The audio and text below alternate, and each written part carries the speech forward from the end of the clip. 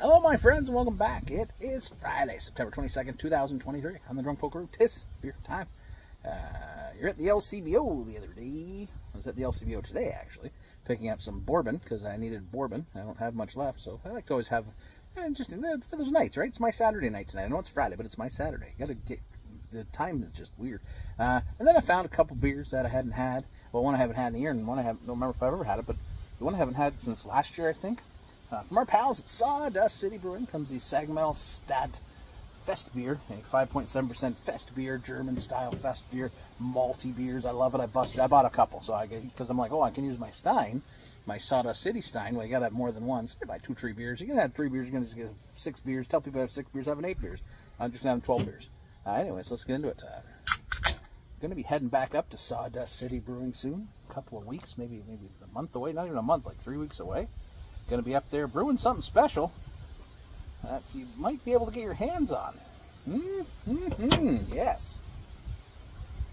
I do so love these beers, and yes, they are what I would consider Sunday beers, but yeah, I can't wait. I, I see this beer, I got to get this beer. Let's get into it. Cheers.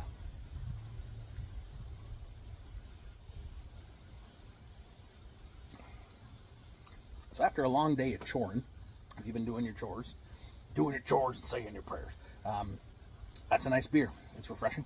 It is a bready, toasted malt beer. Like it is, it is like you know, rye bread, um, thick and chewy. Notes of caramel and toffee.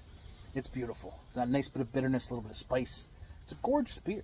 Like this is a kind, of, and it's funny. You know, I I know a lot of people, you know, they they complain about the hazy IPAs, but realistically, if you go in the LCBO, not a lot of them.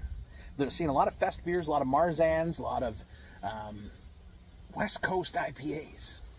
So I think the pendulum is finding that balance. That's what the LCBO is trying to do, is find the balance of what everybody wants. And I'm glad to see this in the LCBO because I think it has a place, and I'm hoping more people try it. So there you go.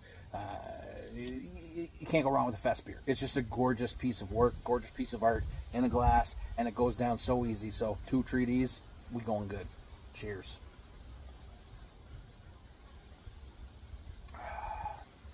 Going up to Gravenhurst soon. I could drink a bunch of this too all day. Mm.